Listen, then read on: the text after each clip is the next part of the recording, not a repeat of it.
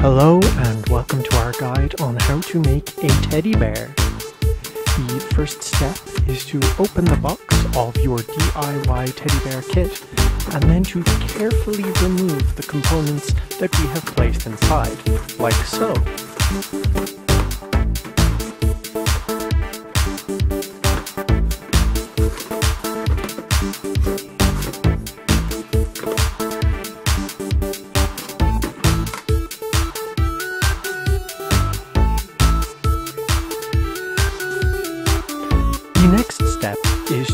Your hands to scoop out the innards of the teddy bear.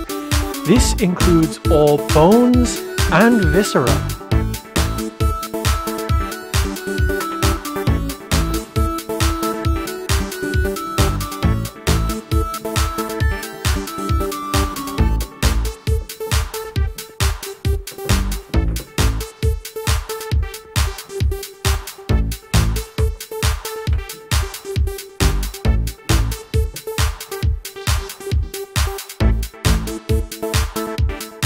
May want to keep the blood and bones aside for future dark rituals, like so. Remember, the painful yearning for the soul it will never have is an essential part of any teddy bear, so make sure to stuff yours with human hair.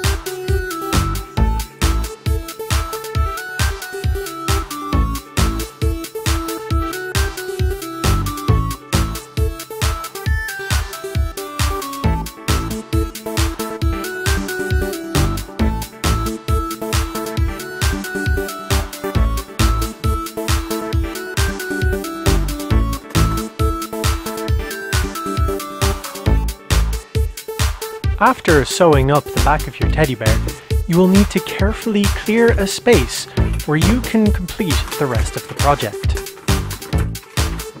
It's important that your teddy bear have no sense of identity other than the one you impose on it, so check your wall of faces for a suitable mask to graft to its flesh.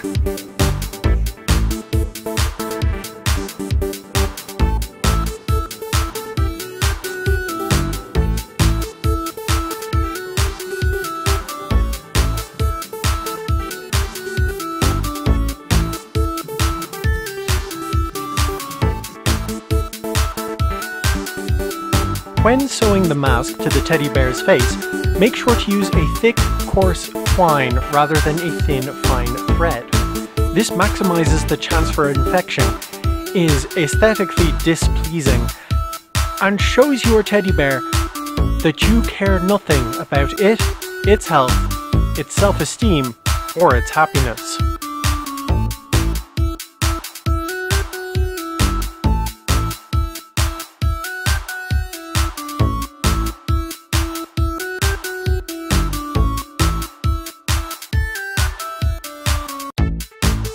Adding the seal of our Lord and Master the dread demon Paganok is how we bestow the teddy bear with a bitter mockery of life.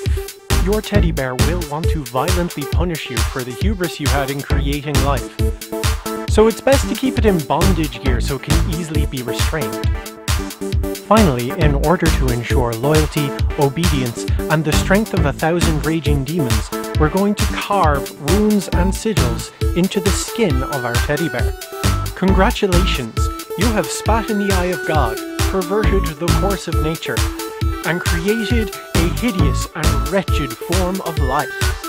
May the caverns of hell echo eternal with your screams of perdition, and may God have mercy on the soul of that thing you created, and any who might come upon it.